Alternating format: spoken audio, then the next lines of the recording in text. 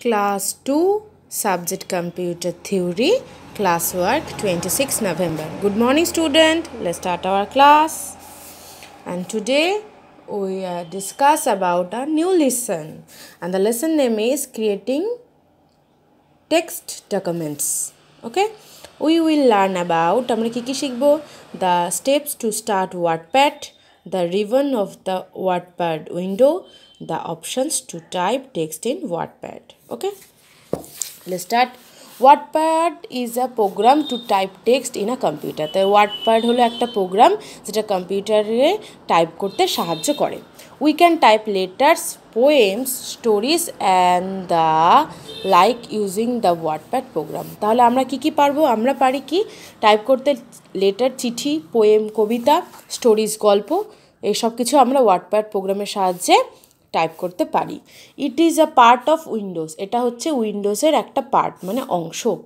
In this chapter we we learn to use the WordPad program of Windows seven এই চ্যাপ্টারে এই অধ্যায়ে আমরা শিখব কী করে ওয়ার্ডপ্যাড ওয়ার্ডপ্যাডে লেখা যায় বা কী করে এর সব ব্যবহার ওয়ার্ডপ্যাডে okay first steps to open WordPad in Windows seven কী করে আমরা ওয়ার্ডপ্যাডটা ওপেন করব? First click on the start button then click on the all programs then click on accessories click on WordPad the WordPad windows open up now you can start typing your text in it ঠিক আছে?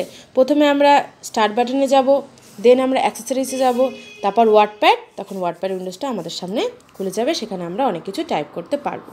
ঠিক আছে?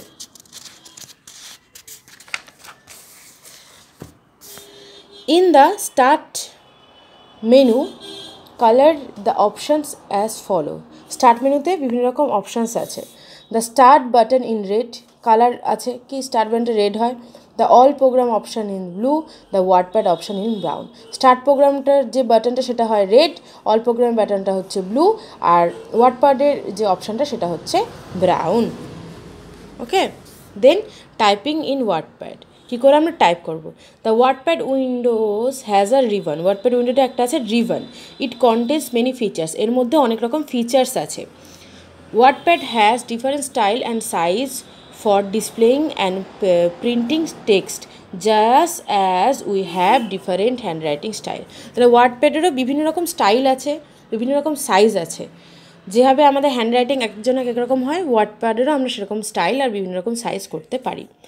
We call this style fonts আমরা সেই স্টাইলগুলোকে বলি fonts okay like this এখান থেকে আমরা স্টাইলটা নিতে পারি সাইজ সরি সাইজটা দিস ইজ রাইটিং এখানে আমরা লিখতে পারি। সিলেক্ট ফন্টস ফ্রম হেয়ার এখান থেকে আমরা কী, কীরকম টাইপের আমরা লিখব সেটা করতে পারি। Select different style of typing এখানে কী, কীরকম কীরকম টাইপে আমরা লিখতে পারি, সেরকম এখানে থাকবে। ওকে